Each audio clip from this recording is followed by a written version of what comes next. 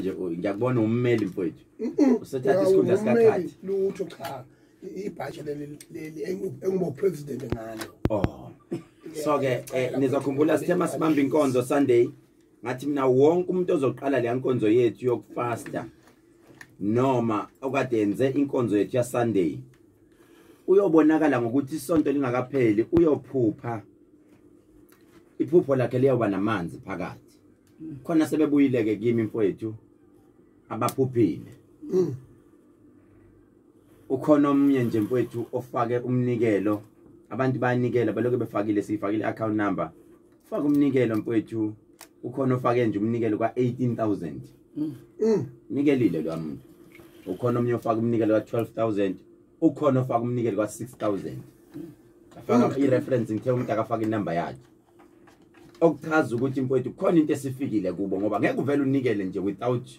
ufika into kuwo ubona thi indoda athi ngifonele Santini ey agent yase Santini uthi hayi mkhulu eh month end Jacob Blue ngizonikela ngoba kukhona into esifikile kimi mm. eh lamanzi kade ukhuluma ngawo cha sengwabonini mm. ngathi mina ungabona ubona amanzi kusho ukuthi usuyayibona indlela yaphambili mm. so nje abantu bayibambe kanjalo lenkonzo ngiyacela abantu impela bake balalele kanje ekseni ngoba sinabantu abahlukahlukene ongeke wazi ukuthi uzosizwa umuphi sinomakhosi namhlanje siphethe omunye ukhokho vula waphansi lemlazi othakatha lemlazi uhamba nabathakathi baleko ngonyameni ngathi namhlanje mfowethu uwelele ngapha umtsheleke ukuthi akuthakathwa kakhulu ngapha ngapha ngapha balula laba sesilungulaula kodwa mfowethu ungayikhulumi ngizwe le nto ungathi uyabheka laphana kutwitter sibonile mfowethu kuyatrend ukuthi umgiliji mfowethu uyagula kakhulu kumbula kwembeso bazokhumbula umgiliji ubaba enganikela ngemoto kuyena ngimthengela imoto imdidiyeli wamabutho phansi kanongoma eyikumbula kuyembesa uyagula um eh, ngithe ma ngikhuluma naye izolo ebusuku mangimfonele wathi heyi ye mnakwethu ngibiza ngumnakwethu ngoba ngithathe umazulu wathi heyi bangishayile ngithi bashaya kanjani uinduna uhlula kufika ushaya abanye abafana uhlula kufika ukuthi hhayi bangizumile um bangizumile bangizumile so iyagula leya ndoda sicela unkulunkulu abe naye nimbeke nasemthandazweni makhosi uhlongo wasenkandla owakuphi eh, umakhosi uhlongo owakhona khona la uduze eh, kwamasho wakamashoaashoaaasukalekamakhumulo eh, mm. emabomvini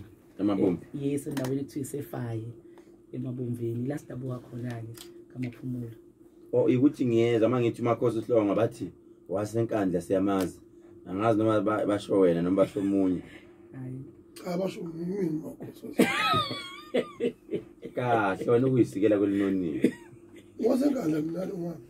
ufuna ukuyitrendisa manje cha mina ngumakhosi wasekandla ukuthi angijahile umakhosi noma uyinkosi yamajele noma uyini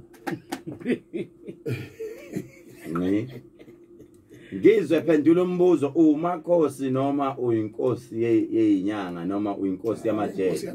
noma uyinkosi yamabhinqi hayi bakwethu hayi ngaza kwethu hayi cha bakwethu yabona into engiyifika ngayibona ejele yangafika ngayibona enkantolo insizwa le bafowethu ngoba iseyincane nje uyonikwe yini noma yilawa abantu abanomona abashuthayo uthi upola mlangempela wenzeni wenzeni wenzeni kanti yini